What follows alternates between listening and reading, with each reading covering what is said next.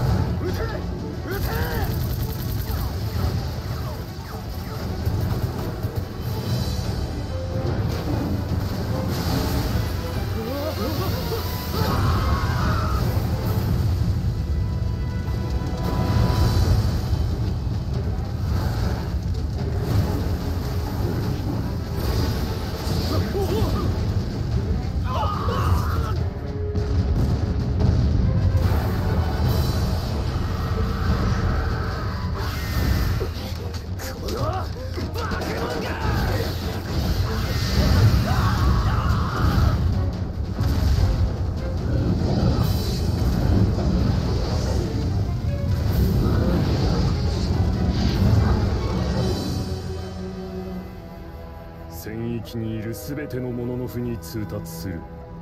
これよりこの地に第一次防衛線を築く。港に侵攻する全ての敵を排除し鬼の存在は世に知れた。もはや我らが身を隠す理由はない。人目を気にせず鬼を撃て。了解。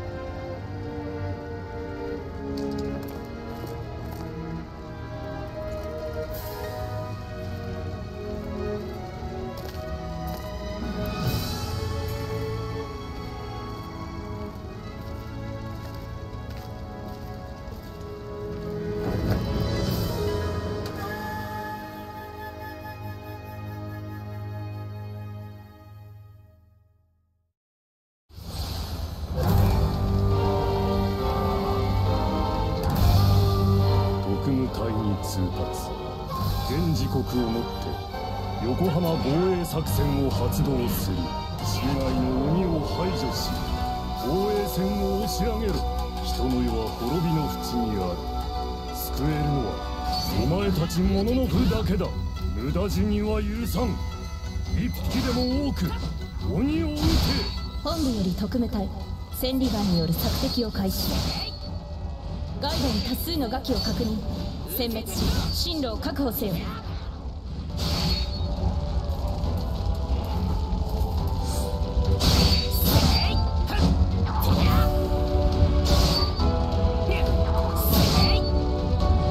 鬼の死骸は正気の苗床になる。捨て置くな。鬼払いで片付けろ。化け物。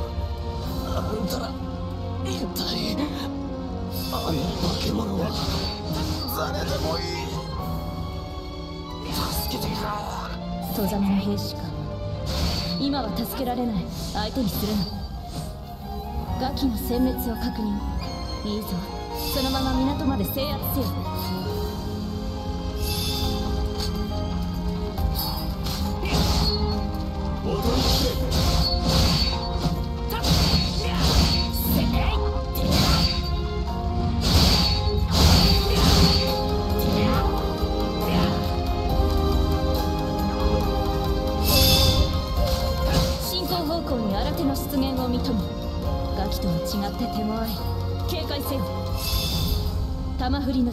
推奨御霊の力を借りて鬼を撃て V 破壊しなければ致命傷は与えられない。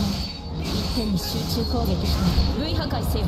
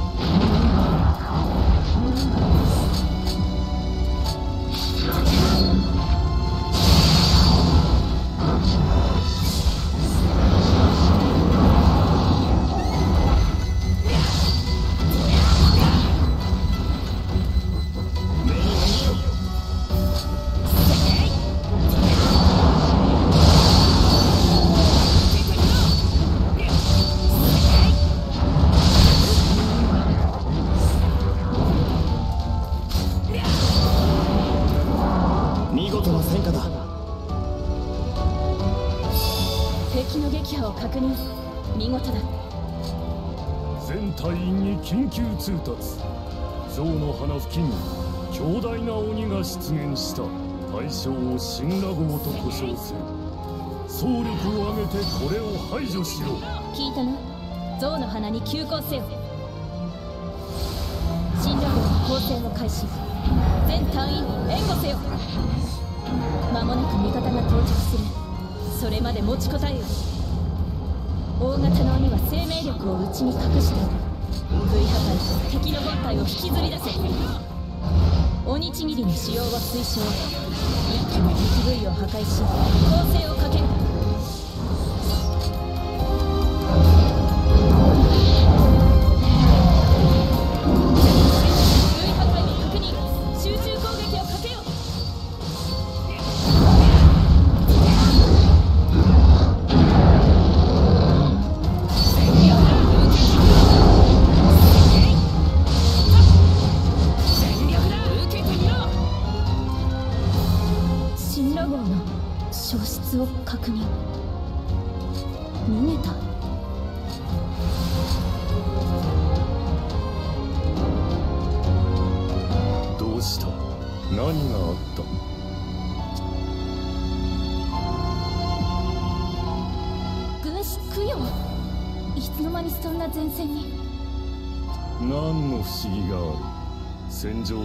指揮するのが私の役目だ。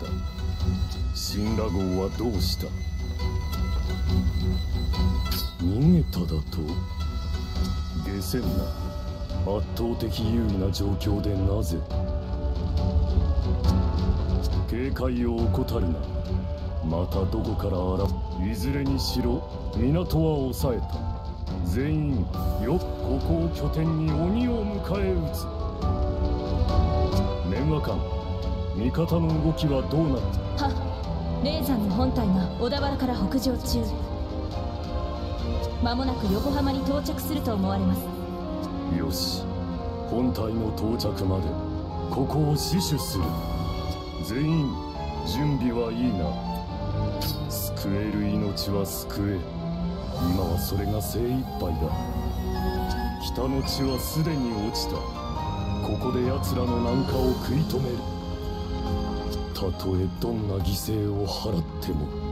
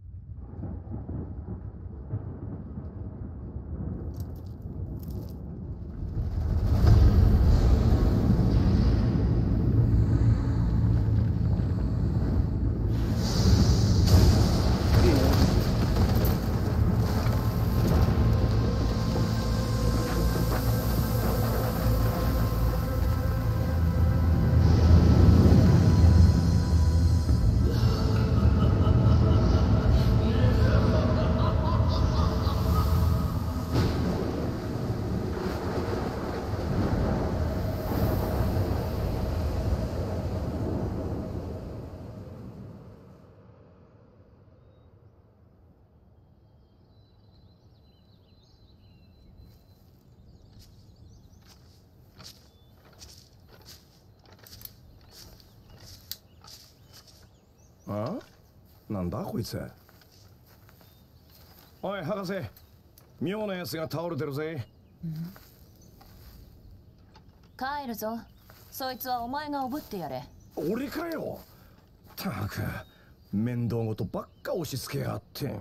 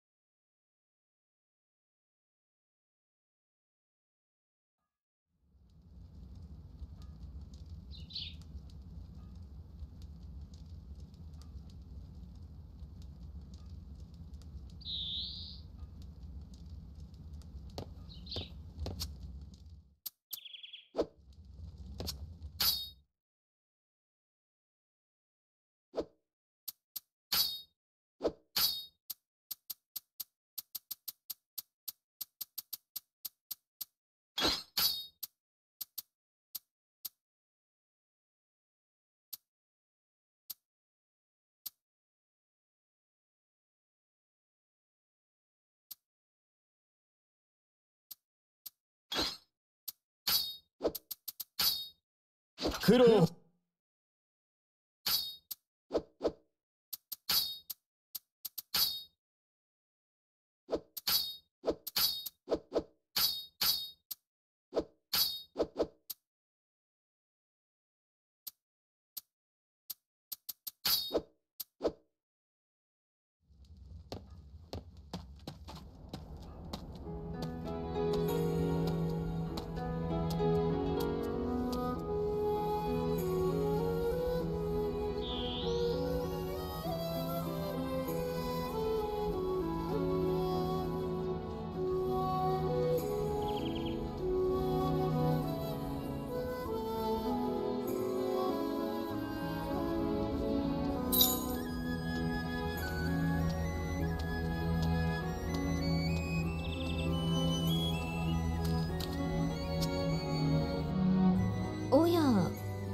なた様は。失礼。あまりお見かけしないお方でしたので。本日はどちらから？横浜？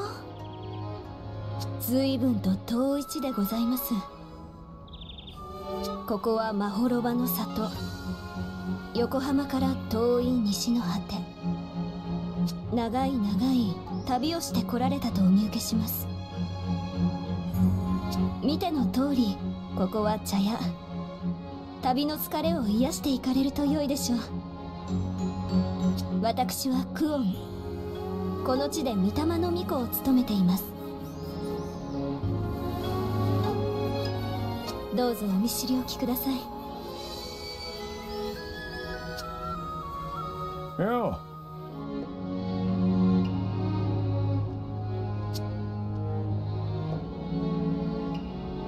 目覚めたか？体の調子はどうだ？しがない研究助手ってとこだ。森に倒れてたのを俺様が運んでやったんだ。感謝しろよ。お前名前は？俺は時継だ。よろしくな。博士がお前に用があるらしい。後で会いに行ってみな。丘の上のへんてこな建物に住んでるやつだ。あれでも医者でな。お前を介抱した。取って食われねえように気をつけろよ。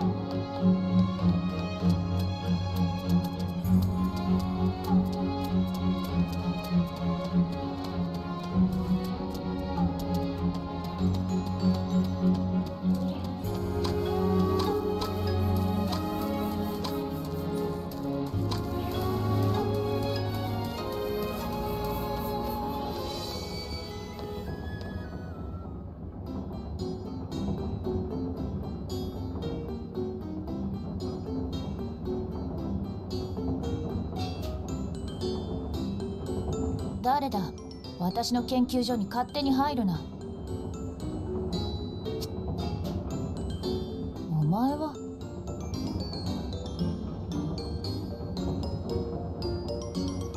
時継ぐに聞いてきたか。また余計なことを言っていないといいが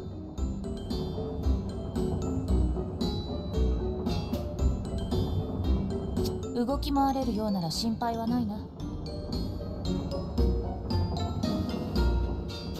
私は博士。お前の名は？知らん名だな。やはり里のものではないな。お前は里の近くの森に倒れていた。何か覚えているか？横浜？一体何の話だ？何か事情がありそうだな。詳しく話してみろ。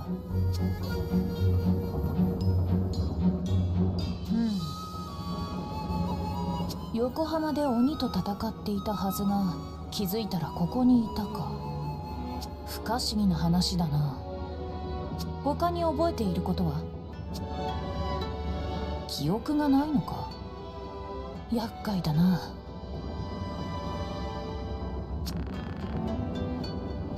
ここはまほろばの里。横浜からはるか西。出雲の国近くにある。直線距離で150里近い。やすやすと移動できる距離じゃない。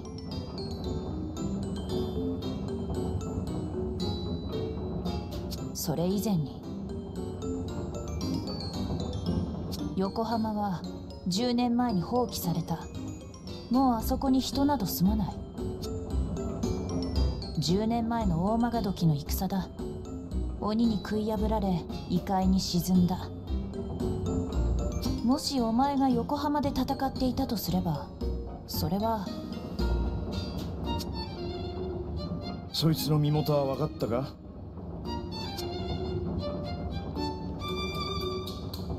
ようまた会ったな。どうした？二人ともしけた面してんな。どこぞのバカと違って悩み事が多くてな。なんだよ。随分機嫌悪いじゃねえか。いや。むしろ逆だ。興味深い話を聞いていたところだ。研究に値するかもしれん。どういうことだ？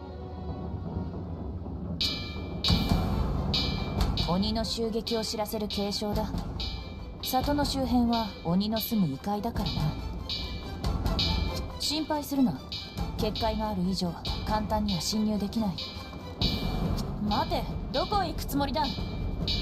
そうか。お前は物の符だったな。鬼と戦うつもりか？心意気は買うが丸腰で行くのはよせ。悪いがお前の装備品は処分した。ボロボロだったんだな。代わりに新しい武器をやろう。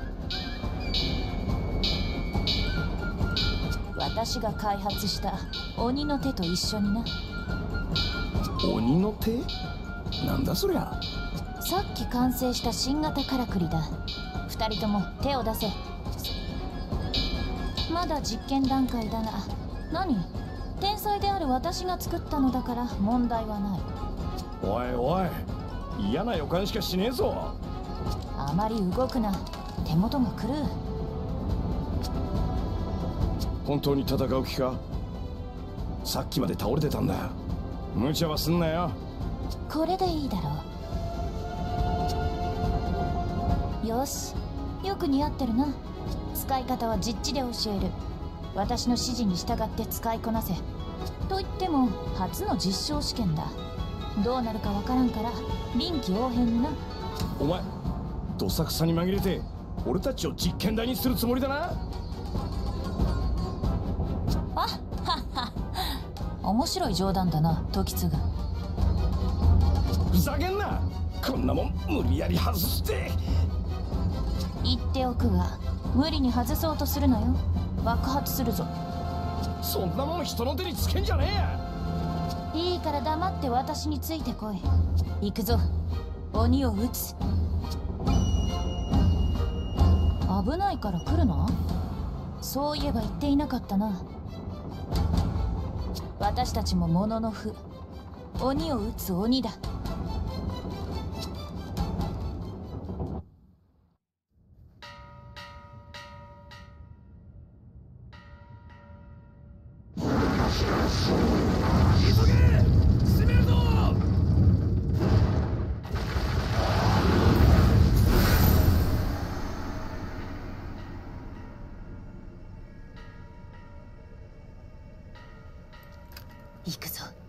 鬼を撃つ。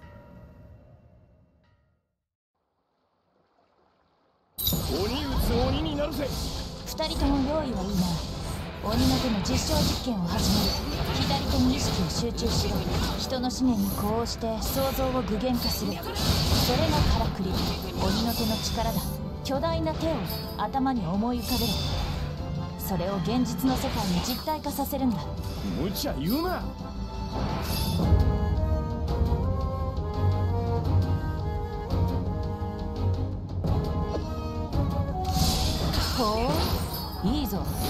あり具現化の壁を越えたな。その手を使って鬼を倒せ。手始めにガキを平らげるぞ。信じられねえどうなってんだ？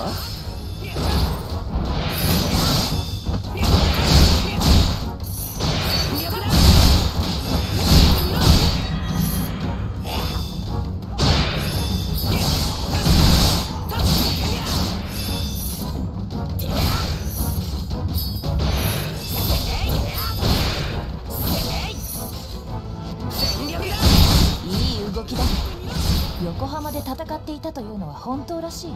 俺に言わせりゃまだまだひよっこだがなよしガキは片付けた。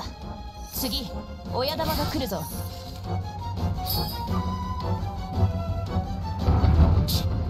めんどくせえのが来たな。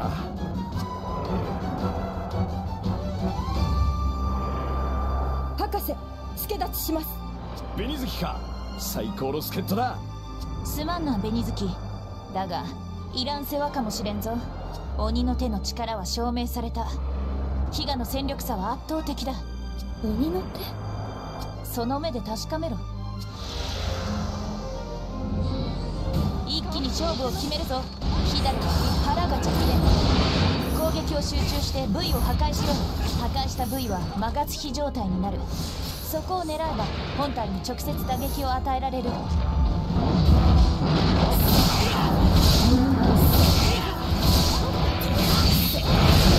いい動きですあなたも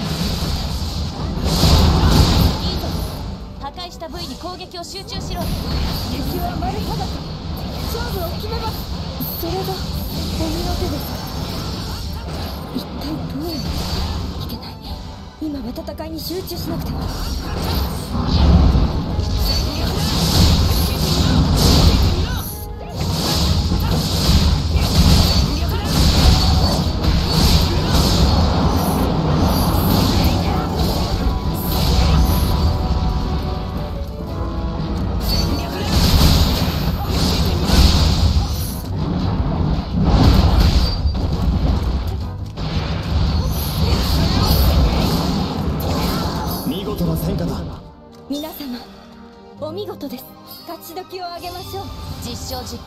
了二人ともご苦労。実験成功だ。あ清海は俺が撃つ。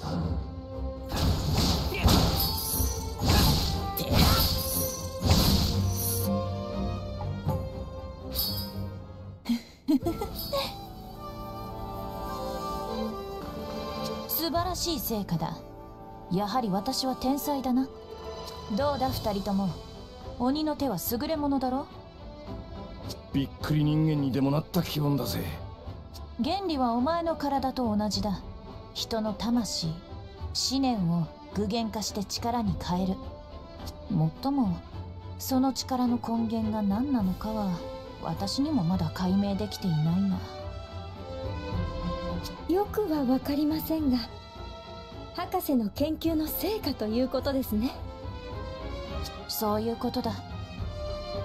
それよりお前新たな御霊を宿したな？どういうわけだ？普通御霊は一つしか宿せないはずだが。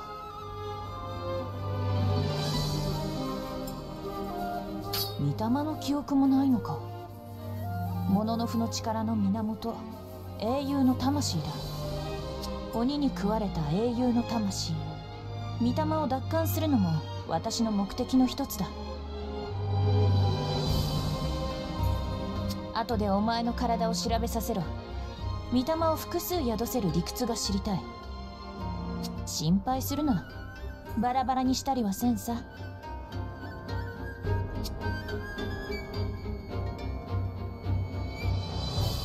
ようやくこのへのお出ましか。博士ご協力感謝します。実験のついでにやっただけのことだどうやら本格的な襲撃ではなかったらしい。ガキが数匹逃げていくのを見た。念のため辺りを紹介しておくといいだろう。承知しています。あとは我々にお任せください。こちらのお方は？あまりお見かけしませんが。外。まさか戸様では。私の助手だ。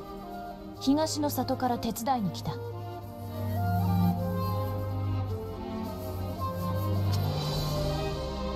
そうでしたか。それは遠路ご苦労様です。では我々は任務がありますので。紅月様もお体に気をつけて。ありがとう。周囲を調べろ。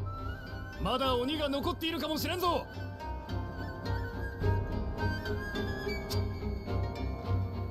私もそろそろ行きます。博士私の協力が必要であればいつでも呼んでください。あいつもすまんな。最後にあなたの名を伺ってもよいですか？覚えておきます。私は紅月この里で物の符をしています困ったことがあったらこではまた会いましょう。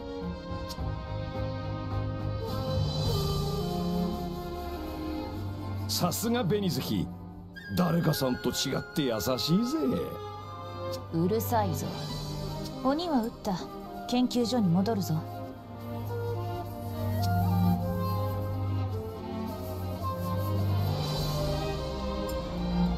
何をしてる？早く来い。さっきの話の続きを聞きたい。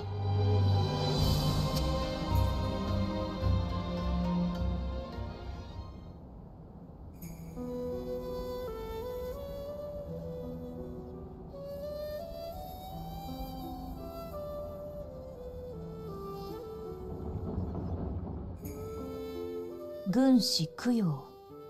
それがお前のいた隊の指揮官か。血濡れの鬼か。有名人だな。配下に精鋭を揃えてたって話だが今じゃ生き残りを探すのも難しいぜ。ってなんだ？じろじろ見てんじゃねえ。遠慮のねえやつだな。からくりと言ってな。私が研究している技術で作った。体の中に人の魂を封じてある。中身は立派な人間ということだ。そういうことでよろしく頼むぜ。しかし横浜以前のことは本当に何も覚えていないのか？そうか。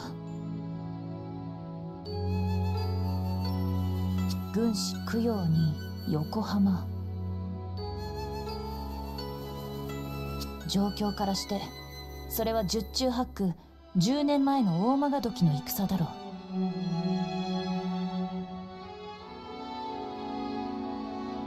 10年前世界中に鬼が溢れ人の世は半ば壊滅状態となった。我々は大曲時と呼んでいる。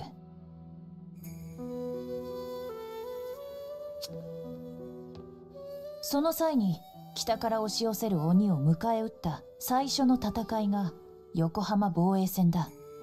つまりお前は10年の時間を飛び越えてここに来てしまったことになる。仮にそれが本当だとして何だってそんなことが起こったんだ？鬼門に飲み込まれた者は時の迷子となって別の時間に流される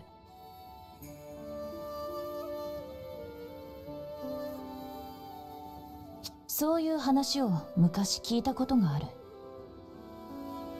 お前が飲み込まれた空の穴はおそらく鬼の開いた鬼門だろう。鬼には時間の垣根がなく過去現在未来を行き来するという。奴らが移動の際に開く鬼門はあらゆる時間に通じている可能性がある。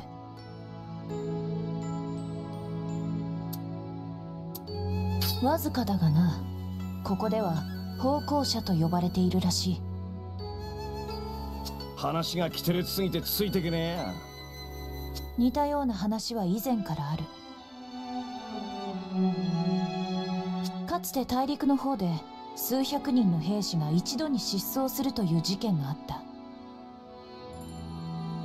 夕げを焚く火を残したまま兵士たちは忽然と姿を消していたどこを探しても兵士は見つからず人々は神隠しだと噂し合った。それから10年後近くの村の広場に突如一人の青年が倒れているのが見つかった。調べると彼は消えた兵士の一人で10年前と全く同じ姿格好をしていた。解放され目覚めた彼は真っ先にこう言ったそうだ。自分の遊戯はどこだと。そりゃ浦島太郎もびっくりだ。はるか昔からこの世界には人知の及ばない何かが潜んでいるのさ。その何かと秘密裏に戦うのが我々モノノフだったが。その体はどうした？な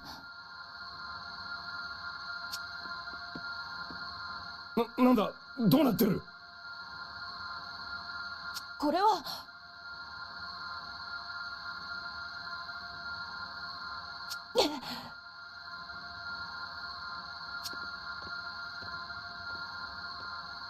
私を見ろ。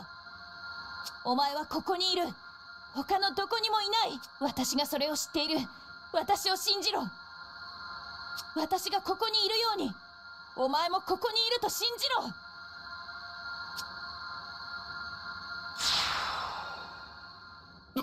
どうなってんだ？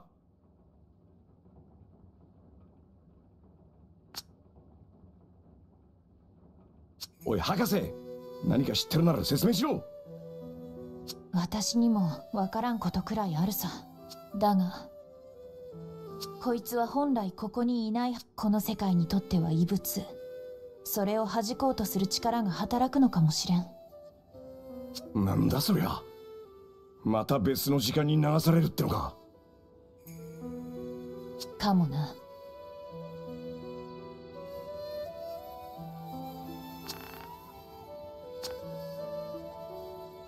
それは時間を超えた代償呪いだそのままではどうなるかわからん。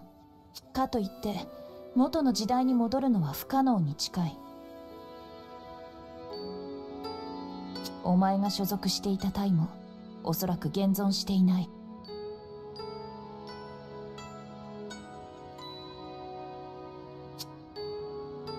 横浜で戦ったモノノフは全滅した。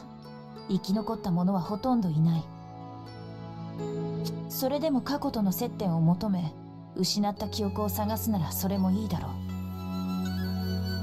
だが過去ではなく未来を求めるならここで私の助手として働く気はないか。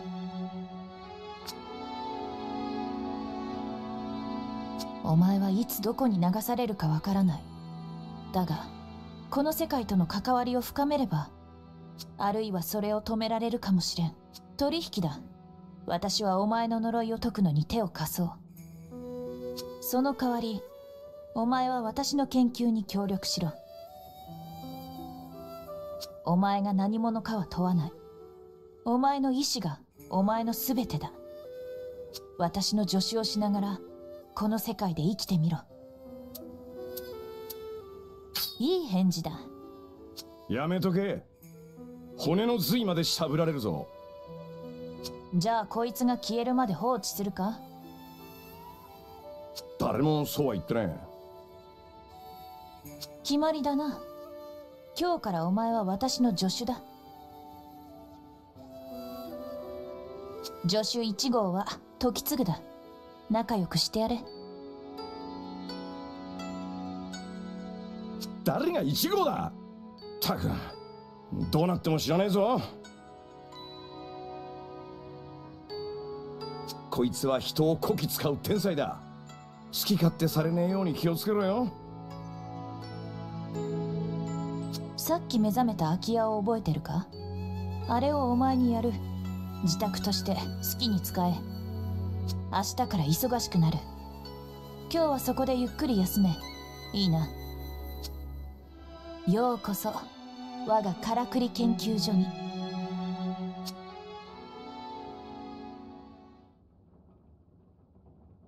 記憶をなくしたか。我が使い手よ。哀れな。それがお前の背負った宿命か。ならせめて私が記憶しよう。お前がこの先どう生きるか。願わくば今度は忘れるな。私は源義経。お前が身に宿す英雄の一人。鬼打つ者のふと共に歩む者なり。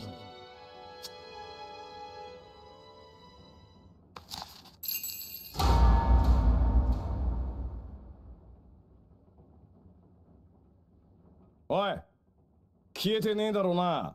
邪魔するぞ。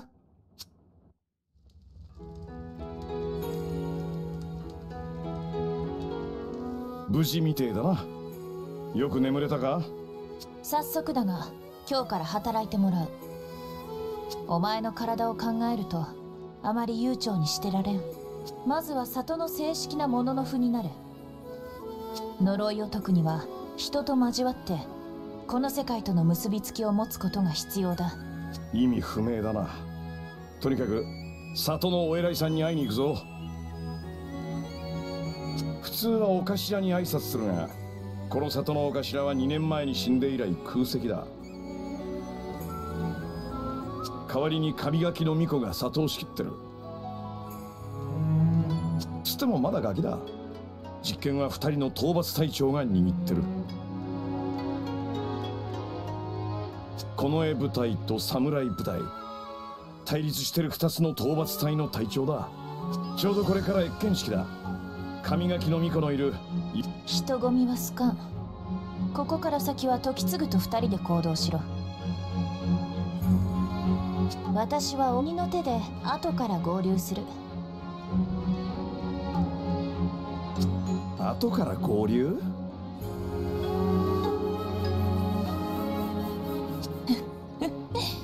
まあ見ていろ。ああそれと岩宿に行く前に時継に里を案内してもらえ。これから物の符になるんだ。使う施設ぐらい知っておけ。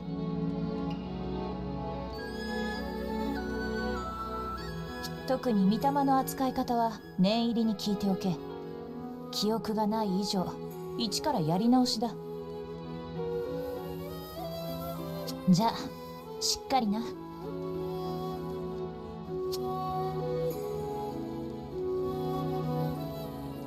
相変わらずの俺様野郎だな。まそういうわけだ。里の探検と行こうぜ。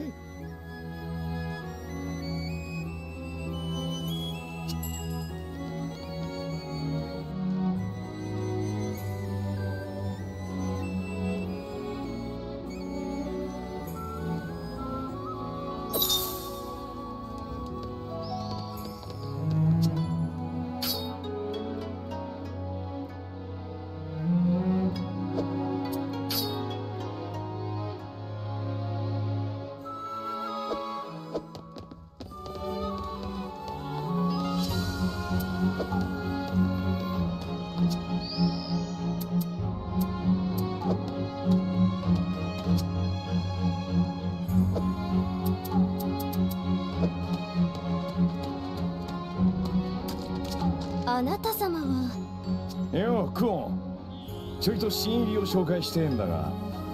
存じ上げております時継様。本日はどのようなご用件でしょうか？話が早くて助かるぜ。こいつに御霊のことを教えてくれねえか。御霊でございますか？なるほど。私は御霊の巫女戦学の身ですが知っていることをお話ししましょう。よろしいですか？御霊は物の符の力の根源。鬼に囚われた英雄の魂です。その魂を鬼より取り戻し力となすのが古くからのものの符の習わし。あなたの体にも力強き御霊が宿っております。それがどなたの御霊かお分かりですか？はてそのような英雄がいたでしょうか？私が代わって感じ取りましょう。あなたが宿しているのは源義経。平安時代を生きた若き英雄ですね。おや。別の御霊の存在も感じます。あなたは複数の御霊を宿すのですね。なぜあなたにそのような素質があるのか私には分かりかねますが。その素質を帰化としさまざまな御霊を集めると良いでしょう。まずは御霊を装着してはいかがでしょう。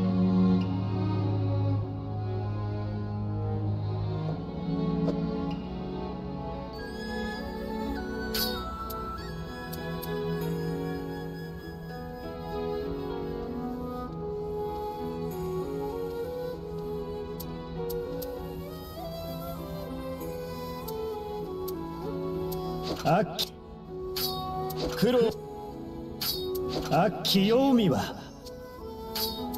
黒。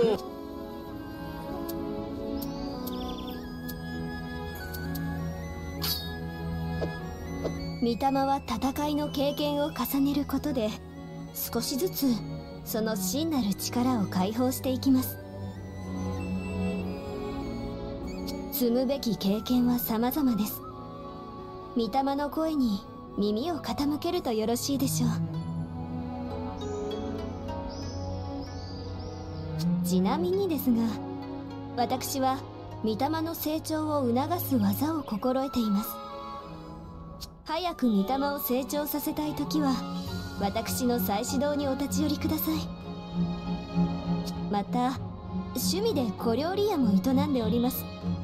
そちらもどうぞごひいきに。御霊はあなたの友であり力の源。夢夢おろそかにされることのなきよう。それでは行ってらっしゃいませ。お客様。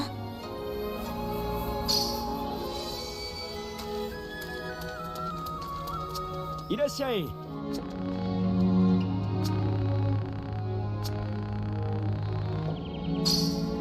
いらっしゃい。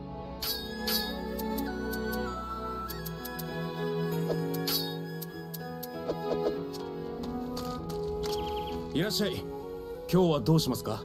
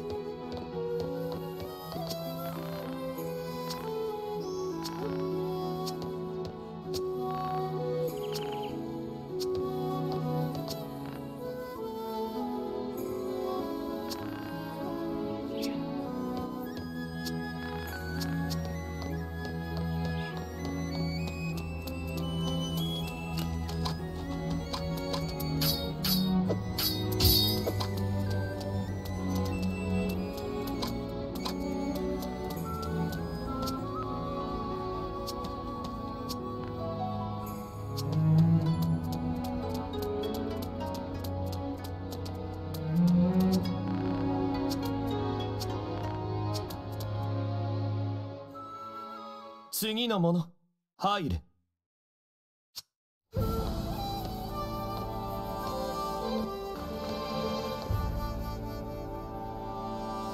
見慣れん輩だな。かぐや様の御前だ。名を名乗れ。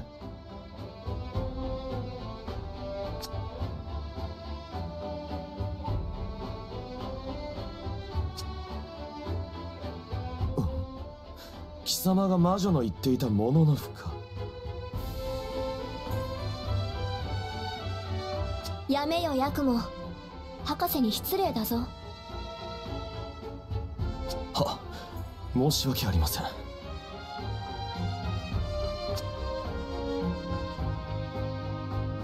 東から来た者よ。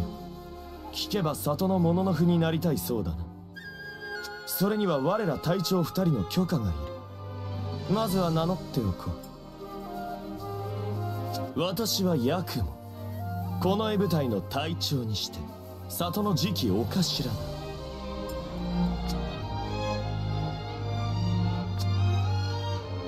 貴様も名乗ったらどうだ？侍よ。東野だ。侍を率いている。覚えておくのだな。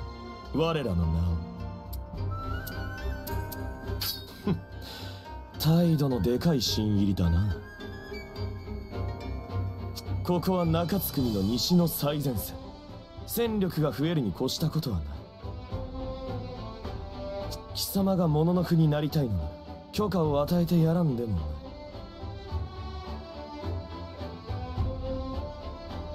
ない。だが一つ重要なことがある。貴様は機内と戸様。どちらだ？そんなこともわからんのか？やはり貴様は戸様か。答えたくないということだ。好きにさせてやれ。それならそれで構わん。近衛でも侍でもないだけのことだ。貴様は紅月に預ける。はぐれ者を束ねている者の札。貴様が使えるか否かは奴に判断させるそれでいいな侍よ異論はない。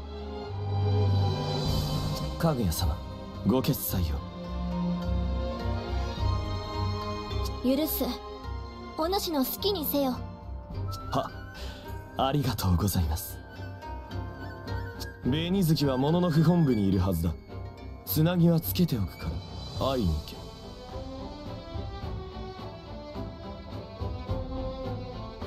つ良いか？お主は東の果てから来たそうだな。そこはどんな場所だろうか？よければ話を聞かせてくれないか？な何？そんなことがあり得るのか？かぐや様そろそろ次の謁見者はそうか。ならば仕方ないな博士は元気か？よろしく伝えておいてくれ。そういえば名乗っていなかったな。私はかぐや。里を守護する。神垣の巫女だ。また来てくれ。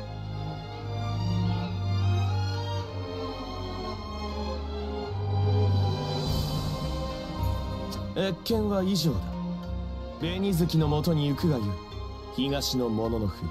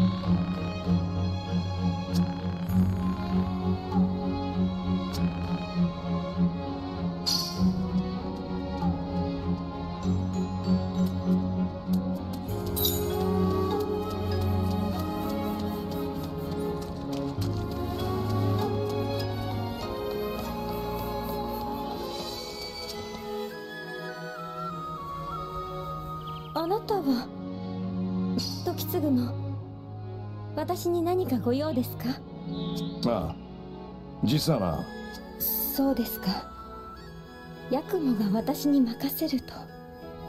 ちょいと事情があってな。こいつは里の者の符になる必要がある。わかりました。先月ですが私がお預かりしましょう。なんだ新入りか？面白そうなやつじゃねえかちょっと俺と遊んでけよ。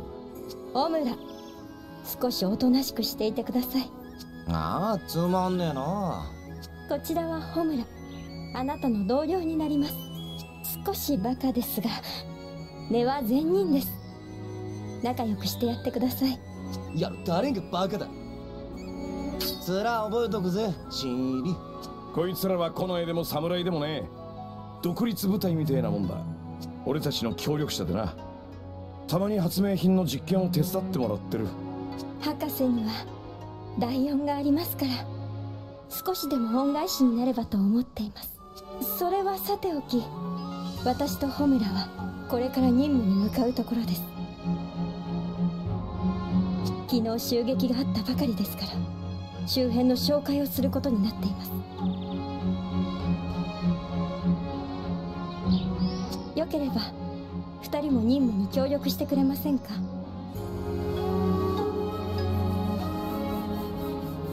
いいのか？こいつはまだ里の者の符じゃねえぜ。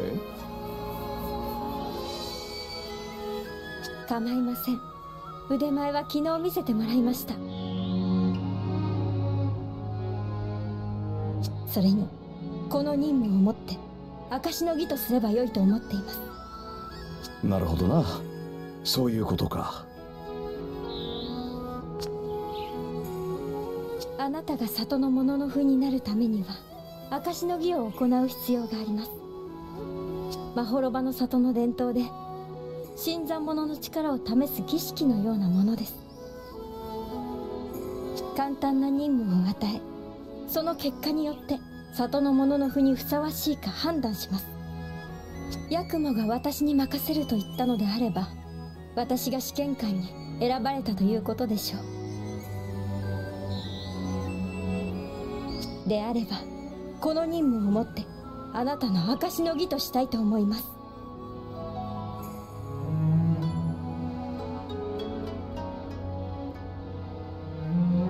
任務にはいくつかの目標があります。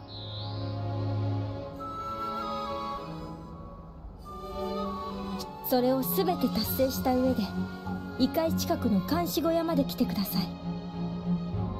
無論あなた一人の力で。やれますか？迷いのない良い目です。何かあったら迷わず里に戻れ。いいな。勝手にくたばんじゃねえぞ。大丈夫です。己を見失わなければ勝機は常にあります。では監視小屋で会いましょう。何時に英雄の導きがあらんことを。